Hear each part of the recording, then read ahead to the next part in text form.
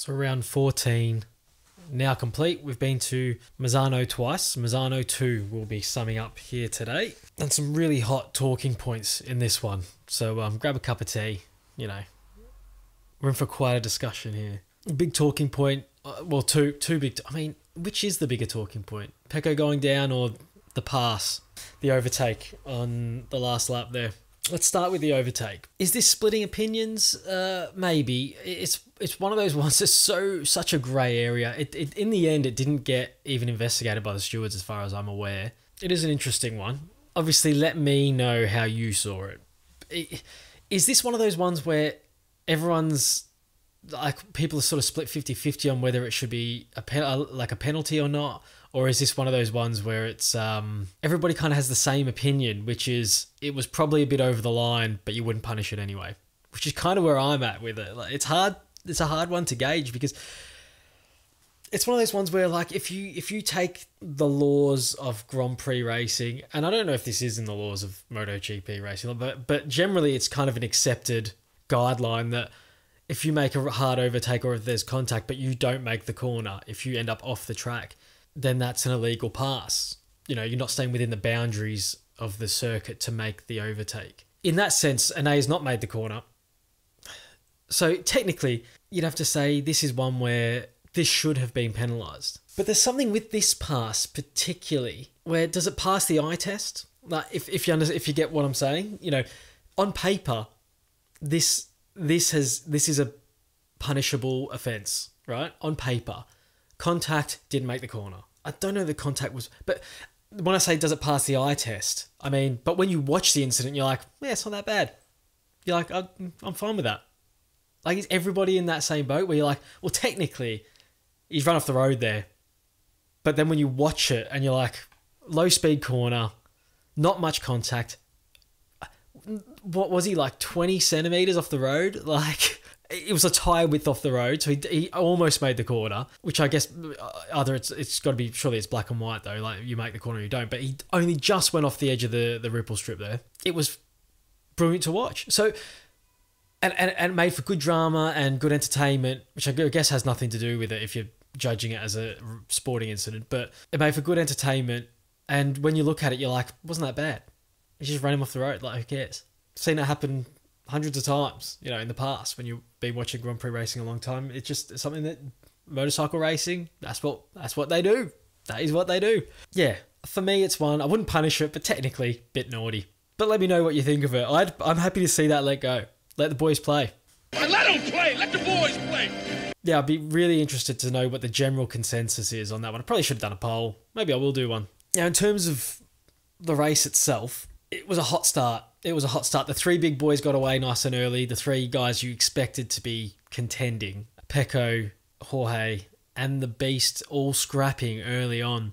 Brilliant to watch. Brilliant first few laps. Uh, and then something interesting happened, and Pecco dropped right off the back, back of the two of them. Of the one guy that I didn't expect to drop away, it was probably him. He was so good on Saturday in the sprint. Perfect sprint race for him. So to see him dropping away in that way was quite a surprise. Not sure exactly what happened. The tyre just didn't light up for him at that phase of the Grand Prix. It, it lost performance in some way, I think is the suggestion. Not lost performance, but it didn't build, it didn't bite for him like it was for everyone else when you get into that second phase of the race after the first few laps. He's dropped on about like three seconds or so back from the lead. Now at this point, I was like, he's going to fall behind Mark here, surely. But he, he he managed to find something there, steadied the ship, got the tyre working, and started to make ground back and started to do the sort of lap times we expected to see from him, even better than actually. Like he was absolutely flying and he was eating up the ground. And it was only a matter of time. We're like, we're getting it we're getting finally a grandstand finish between Pecco and Martin and Chuck Bastianini in there for, for good measure, uh, who we know is so great late in races. So this was shaping up to be like the race of the season, like you know, absolute grandstand uh, finish. And we got a grandstand finish in the end, but match we had all three of them in there would have been bl- bloody brilliant. So unfortunately, Pecco has thrown it down the road. This is just another one of those ones with these lads. Between the two of them, I mean, Martin's been a lot better this season for me in terms of his consistency. He was always a bit inconsistent, and now he has made mistakes. whether you consider his mistake, Misano won as a consistency thing. I mean, he's made an error in judgment there. It wasn't a technical error in terms of riding the bike and chucking the thing down the road. So his consistency, you can't quite question it as much. But with Pecco, there's just this. This guy could be a three-time world champion at the end of this season. And you'd still be sitting there thinking yourself, yeah, but he doesn't stay on it that often, does he? Like every time he gets in a good position, he makes his job harder, and then it almost makes it more impressive when he comes back and wins the championship later in the season, doesn't it? Because you're like, well, he had to come back against the odds here. He is unbelievable talent, Pecco Bagnaia. I think when he's on, he's so so good. He's as good as anyone. You know, he's got that Lorenzo about him where he can just be like bang, bang, bang, bang, bang.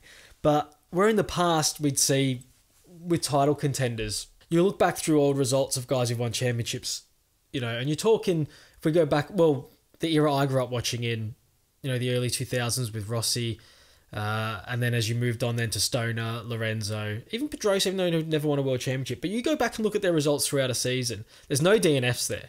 There's rarely, rarely ever a DNF. You know, is it is it one of those ones that the bikes are so much more on edge now, or is the talent not as high? Why are we getting so many DNFs from these guys? And Pecco is a huge culprit for this. Like I said, back in the day, if it was two guys going for the world championship, so it was you know, when you look back at the Rossi Gibernau's and things like that, even when it was, you know, if you if you say Gibernau is your Martin in your in your satellite team and things like that, these guys were going at each other late in races almost every week. They were always on track together, always fighting each other.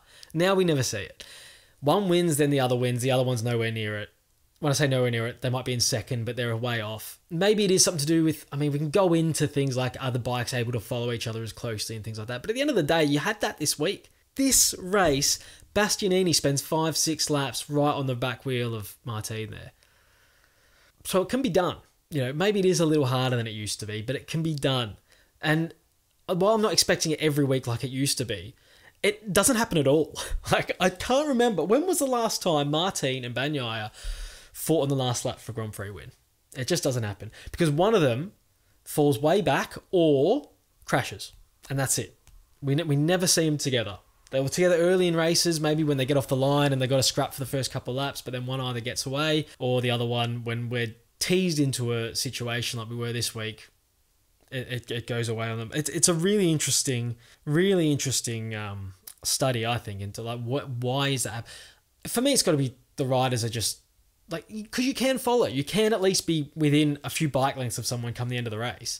Maybe you can't challenge it. Maybe it's so hard hard to pass these days. You can't make that challenge. Like Bastianini had to make it a bit tough this week. He had to do a hard move. So maybe you can't make the challenge, so we won't get the scrap. But why are they never even close to one another?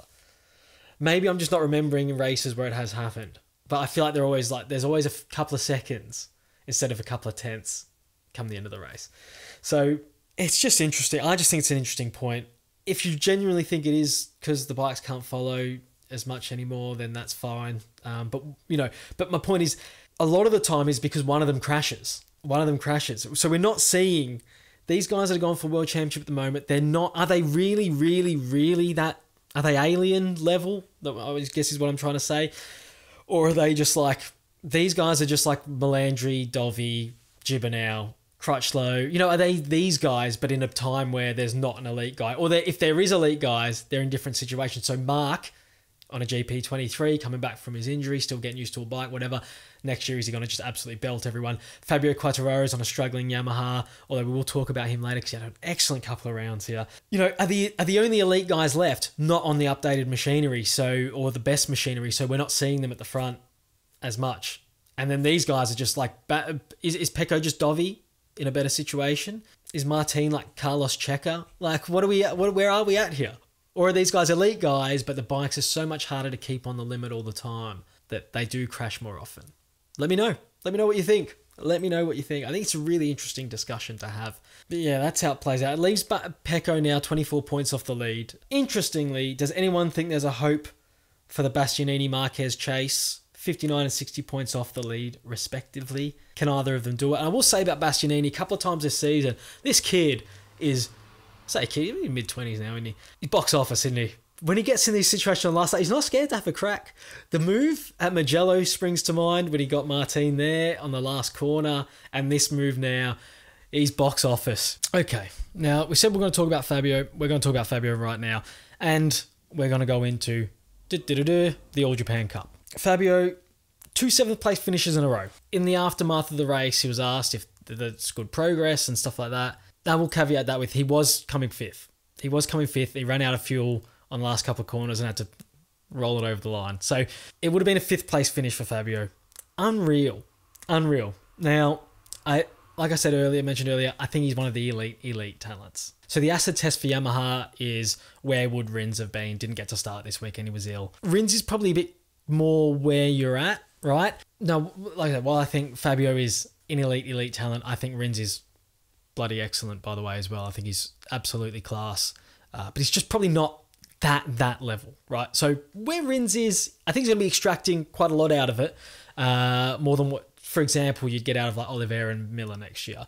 Uh, so he'll be above that level, but it's more of a where you can be with just a really top rider, like a good rider, without him having to be above and beyond the bike. So where Rins will be will be a very good test of where they're at. But Fabio has come out and said after the race that he still doesn't think it's that encouraging high standards for these guys, isn't it? Uh, because he's still behind a couple of GP23s. he finished behind Bez and Mark there. Now, Mark scratched that off because he's going to be running around at the front. So you're not going to be ahead of him anyway. So Bez, you could be like, well, you know, Bez has finished nine seconds off the lead. Could you be in front of him? I think he'd be a stretch, to be honest. Bez has a good Grand. He's had a track he knows like the back of his hand. You know, it's maybe you're not going to beat Bez on a day like that either. You know, so I think it is encouraging for them. But you know, like I said, these guys, they're elite level.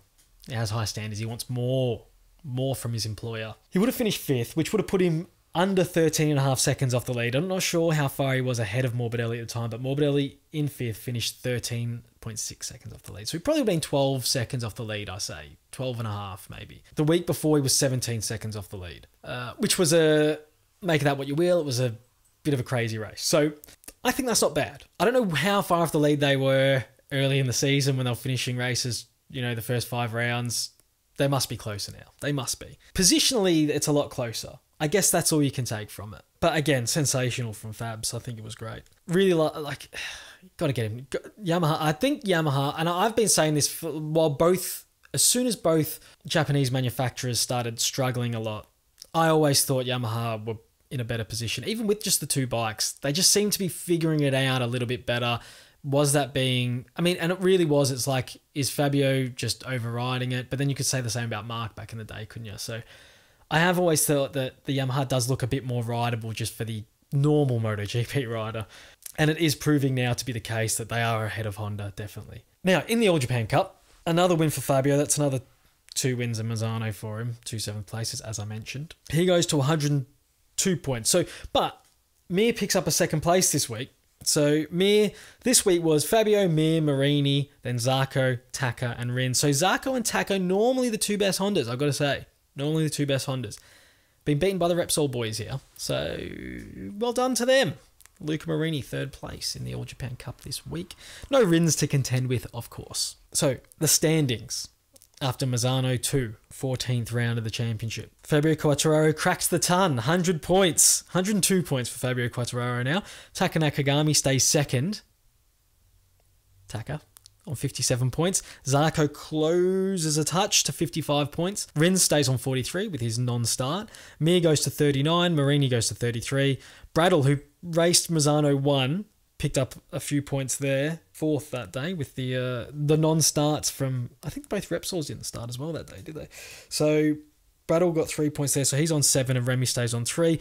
Now it's looking like we're going to see. Did I hear right? Dovi's going to be chipping in for Yamaha somewhere, so we might get him in there as well at some point. That'd be great to see. Hopefully, he gets a point when he does race. Uh, so we get another man on the leaderboard there. So that's how it stands for the All Japan Cup. Now on to Moto 2. This was a corker. We had three great uh, great races this week. So this was great. Vietti, somehow, with where he was positioned going into the last lap, was it the last lap or the second last lap that he, he made the error through on the switchback from one to two? He had a bit of a, kind of just tried to buck him off, didn't it? Uh, and ended up third. And it was like, well, he's done for the day. It's a duel at the front, Canet and Arbolino. And then Arbolino, Oh my goodness. Going into uh, that last sequence of corners there, you could just see him frantically trying to pull this thing up. He knew he'd got it wrong straight away. Straight away. You could see him just like punching down through the gears, trying to get it pulled up without crashing, basically. Because to get it pulled up at that point, he would have had to have a big, big old squeeze of the brake, And so did the best he could in the end, but it's just a misjudgment. He's just got it wrong. He's ended up getting that wrong. And then Canet, inheriting the lead, defend over defended the last corner, as I guess you wouldn't know, would you? And Vietti's just managed to punch it to the line. What a finish! Great Grand Prix, great Grand Prix. It was great seeing the three of them fighting. Good two Italians at the front uh, in Misano, always good to see. But I will say with Arbolino, definitely Arbolino especially, is consistently more at the front now. So, I mean, two of those races were at Misano, so maybe that has something to do with it. But encouraging for him. Has he figured it out? Hopefully, Vietti's starting to get a bit more consistently at the front too as well. Building him in like his, his season's done here, but if he can just keep these results going and build into a good strong next season, that'd be uh, quality for him. And there was drama earlier in the race with Sergio Garcia going down, and this kid is speaking of Vietti, he's doing a Vietti. That year, the Vietti was just like rolling on. You're like world champion here. Definitely, he's getting the VR46 seat done and dusted, and then he started to do what Garcia is doing now. And Ogura, good enough to be like struggling a bit uh, in that race, but a bit like Pecco, uh, struggling a bit to keep up with the front guys. Uh, and it looked like he was falling back into the clutches of the guys behind him, Aldeguer especially. Uh, but steadied, steadied the ship, got his head down, thought, bring it home here, did did the job. And you never know with that kind of fighting at the front. I mean, we did, anything can happen you can inherit a win from those sort of situations sometimes. So did all the right things and goes 22 points clear in the championship now because of that. And Garcia, I can see him finishing behind the likes of Roberts and Alonso Lopez. Aldeguer, can he get there? You know, the thing is, he's not crashing from good positions either. Like where he's, he's crashing from mid pack. He doesn't actually even have the pace at the moment to get himself near the front. So look, I like the kid. I think he's brilliant, but this season's slipping away from him quickly he needs to get to a circuit that he likes. He needs a bit of confidence. He needs to get somewhere where he can roll the bike out of the back of the truck on Friday and just be like, I'm running in the top three, practice one, practice two, you know, and qualify himself on the front two rows. He, he desperately needs a circuit to come along where it just clicks for him. Desperately. Uh, but going into the Asian legs now, it's you're in Ogura's backyard now. I, I'm I don't know his history. To be honest, I can't remember his history's like in these Grand Prix Ogura, but I assume he's raced a lot of these circuits well, maybe not. Maybe he would have just raced around Japan and stuff a lot when he was younger. But I could just be stereotyping badly here. But um, I assume he's going to be strong uh, in this section of the uh, championship. I've got Ogura as absolute favourite from here. Absolutely, not just because he's win the world championship. He could be 20 points down. I'd probably have him as favourite if this was the form coming into it. So, Moto 3, David Alonso does it again. Something about this kid on last laps. I've, I've gone on about him doing this so many times. I've just gone on and on and on about it, right? He has this way on a last lap. If he gets to the front, you can't pass him. I always say it's like a precision thing and an accuracy and well, it's just generally being quite good, isn't it? Like he just hits every single brake marker perfectly. He's on the right line. He gives you no chance to pass him. If you did want to pass him, you pretty much have to hit him. I mean, I've, go back and watch my old videos. I've gone on and on about it. So good.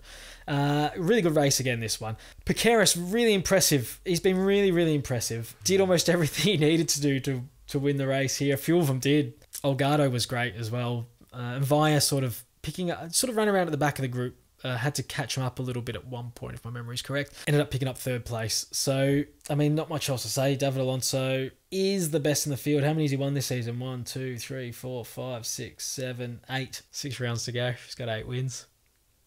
He'll win at least half of those. He'll win half of them.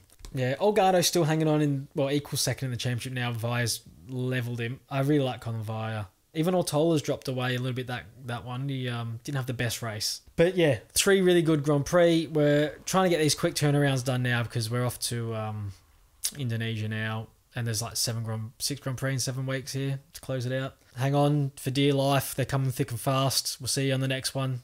Oh, and I obviously missed my wrap after the last one. I was away in Scotland when I got back. Just couldn't be asked to be fair. And I'm like four races behind, probably about to be five races behind on um, my power rankings. I have done them. I have been up to date with them. I haven't been able to make the graphics time consuming and I like I said, I was I was away for a week and a week and a bit in Scotland, driving around, drinking whiskey, and not at the same time. I wasn't drink driving. I was stopping then drinking the whiskey, playing golf and shit. So. I've been busy guy, so I haven't got them done, but they I will catch up with them at some point. You'll be able to see where everyone was at after each Grand Prix. See you after Indonesia. Should be a cracker. Hopefully, it doesn't rain too much, and uh, we'll see you on the next one.